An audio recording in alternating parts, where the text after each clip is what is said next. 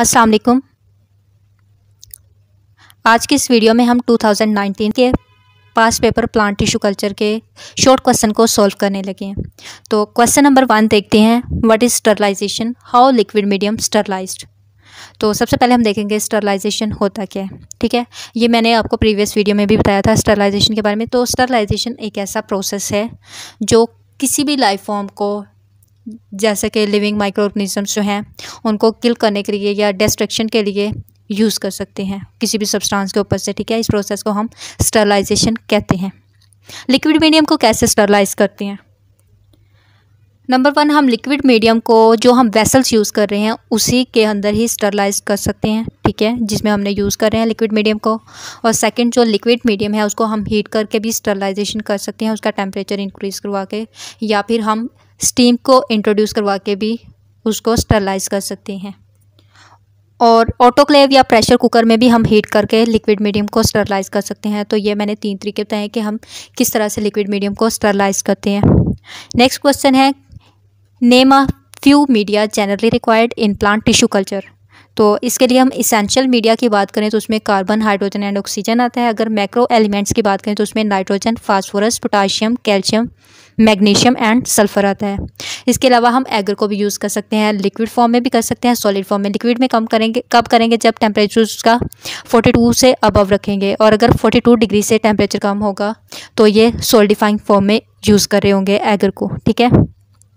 Next question है what is callus culture callus क्या होता है? कैलस एक unspecialised unorganised growing and dividing mass होता है सेल्स का, ठीक है? और ये उस वक्त प्रोड्यूस होता है जब हम एक्सप्लांट लेते हैं। एक्सप्लांट को हम कल्चर करवाते हैं किसी भी सॉलिड मीडिया पे जो उसके लिए अप्रोप्रिएट होता है। वो दोनों हार्मोन्स को यूज़ करते हुए ऑक्सीजन एंड साइटोकाइनिन को करेक्ट कंडीशन में। तो ये बेसिकली कैलस कल्चर होता है इस तरह। इसकी एग्जांपल में आगे मैंने आपको बताया है टू फोर डी जो है कॉमनली यूज़ किया जाता है callus culture question number three है what is role of hormones in callus culture तो ये रिपीट हो रहा है थ्री भी इसके अलावा क्वेश्चन नंबर सिक्स भी रिपीट हो रहा है तो 2020 में और एट भी रिपीट हो रहा है। तो ये आप लोग उस वीडियो जो प्रीवियस है, उसका मैं डिस्क्रिप्शन में लिंक दे दूँगी और एंड स्क्रीन पे भी वीडियो दे दूँगी। आप लोग वहाँ से कर लीजिएगा। क्वेश्चन नंबर फाइव है write down the main steps involve in micropropagation तो इसी, इसमें बेसिकली फोर स्टेप्स इन्वॉल्व होते हैं माइक्रो प्रोपागेशन में। फ़र्स्ट है इनिशिएशन स्टेप इनिशिएशन स्टेप में क्या होता है? प्लांट से प्लांट का टिश्यू लिया जाता है और उसको हम मीडियम के ऊपर जिस पे एगर मौजूद है, उसमें प्लेस कर देंगे, ठीक है? नेक्स्ट स्टेज आएगा मल्टीप्लिकेशन स्टेज अब जो हमने एक्स प्लांट को इंड्यूस करवाया है, वो वेजिटेशन प्रोड्यूस कर देगा। वेजिटेशन ग्रोथ होगी उसमें, ठीक है? उसके बाद क्या होगा? हमने उसमें इंड्यूस करवा देना है साइटोकाइनिन को मीडियम के अंदर। थर्ड स्टेप मल्टीप्लिकेशन है स्टेज मल्टीप्लिकेशन स्टेज में हमने क्या करवाना है? जो ग्रोइंग शूट है, उसको इंट्रोड्यूस करवाना है और हमने प्रोड्यूस करवानी है एडवांटेशियस रूट्स। इसमें हमने इंड्यूस करना है ऑक्सीजन को मीडियम के अंदर, ठीक है? सेकंड स्टेप में हमने साइटोकाइनिन को ऐड किया था और फोर्थ स्टेप सॉरी, सेकंड में हमने उसको ऐड किया था और थर्ड में हमने ऐड करना है ऑक्सीजन को। फोर्थ एक्लिमेशन है, एक्लिमटाइजेशन है, सॉरी।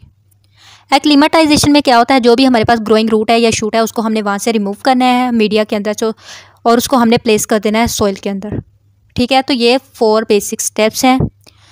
जो माइक्रो प्रोपागेशन में इन्वॉल्व होते हैं इनिशिएशन स्टेज है मल्टीप्लिकेशन स्टेज है।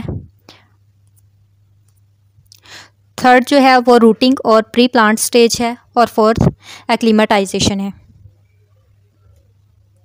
क्वेश्चन नंबर सेवन है give importance of anther culture anther culture की इम्पोर्टेंस की यहाँ बात करें तो एंथर कल्चर जो है, उनको हम ब्रीडिंग प्रोग्राम्स वगैरह में यूज़ करते हैं, जैसे क्रॉप्स की कुछ सॉरी राइस के कुछ क्रॉप्स हैं, उनमें यूज़ किया जाता है। इसके अलावा ये बहुत ज़्यादा सिंपल कल्चर होता है सिंपल मेथड होता है और लेस टाइम कंज्यूमिंग होता है।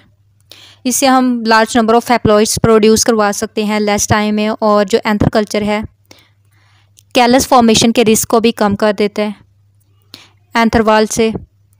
और इसके अलावा हम एंथर कल्चर को जेनेटिक रिकम्बिनेशन जो हायर प्लांट्स में उनकी स्टडी के लिए भी यूज़ करते हैं।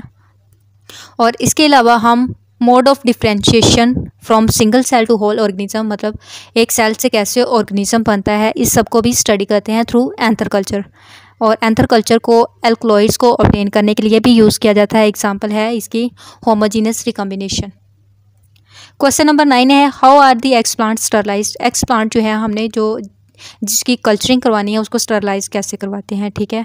तो एक्स प्लांट जो है उन्हें कल्चर में यूज़ करने से पहले हम कंटेमिनेशन फ्री करेंगे तो इसके लिए हम उसको स्टरलाइज करवाएँगे। हम इसको कह सकते हैं, जो सरफेस स्टरलाइजेशन है एक्सप्लांट की ये ऐसा प्रोसेस है, जो इन्वॉल्व होता है। एक्सप्लांट की इमर्शन करवा रहा होता है, किसमें? कंसनट्रेशन ऑफ़ केमिकल्स सेटलेंट्स में, और इसके अलावा डिसइनफेक्टेंट में। एक स्पेसिफिक टाइम में, जिससे क्या होता है कि कंटेमिनेशन फ्री कल्चर हमारे पास इस्टेब्लिश हो जाता है। क्वेश्चन नंबर नाइन है सेलर टोटिपटेंसी क्या है? तो सेलुलर टोटिपटेंसी बेसिकली अबिलिटी है एक सिंगल सेल्स की, कि वो डिवाइड हो और एक न्यू डिफ्रेंशिएटेड सेल को एक ऑर्गेनिज्म में कन्वर्ट कर दे। मतलब एक ऑर्गेनिज्म प्रोड्यूस करवाए सिंगल सेल से। ये होता है सेलुलर टोटिपटेंसी तो इसको हम इस तरह भी कह सकते हैं सेलुलर टोटिपटेंसी जो है एक प्लांट सेल का ऐसा पोटेंशियल है जो उसे एक होल प्लांट में कन्वर्ट कर दे। और ये ऐसी कैपेसिटी है जो चाहे सेल जो है डिफ्रेंशिएशन से होके पूरे प्लांट में चेंज हो गया है, फिर भी ये उसके अंदर मौजूद होती है। तो ये था सेलुलर टोटिपटेंसी ठीक है? स्पोर्स और जाइगोट जो है, ये एग्जांपल है टोटिपटेंट सेल्स की। तो वीडियो अगर अच्छी लगी हो तो चैनल को लाइक सब्सक्राइब और शेयर करें।